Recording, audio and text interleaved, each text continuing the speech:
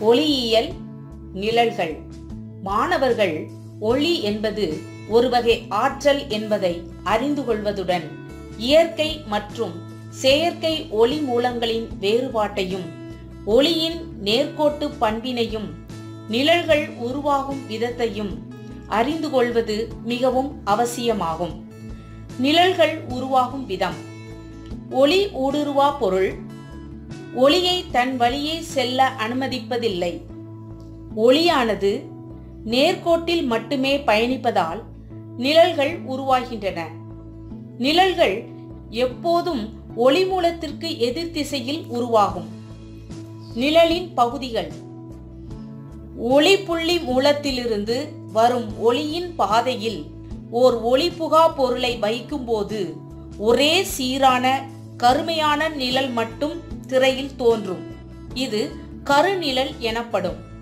ஓர் அகன்ற ஒளி மூலத்திலிருந்து வரும் ஒளியின் பாதையில் ஓர் ஒளிபுகா பொருளை வைக்கும்போது சிறிய கருநிழல் தோன்றும்.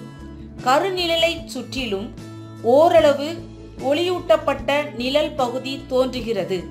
இதுவே புறநிழல் எனப்படும்.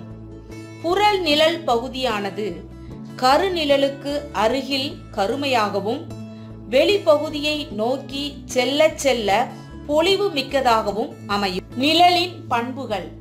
எல்லா பொருட்களும் நிழலை உருவாக்குவதில்லை. ஒளி ஊடுருவா பொருட்கள் மட்டுமே நிழல்களை உருவாக்குகின்றன. நிழல்கள் எப்பொழுதும் ஒளி மூலம் இருக்கும் திசைக்கு எதிர் திசையில் உருவாகும். பொருளின் நிறம் எதுவாக இருப்பினும் அப்பொருளின் நிழல் எப்பொழுதும் கருமையாகவே தோன்றும். ஒளி மூலம் ஒளி ஊடுருவா பொருள் மற்றும் நிழல் ஆகிய மூன்றும் ஒரு நேர்கோட்டில் அமையும். ஒரு பொருளின் நிழலின் அளவானது ஒளி மூலம் மற்றும் பொருளுக்கு இடையே உள்ள தொலைவு பொருள் மற்றும் திரைக்கு இடையே உள்ள தொலைவு ஆகியவற்றை சார்ந்துள்ளது.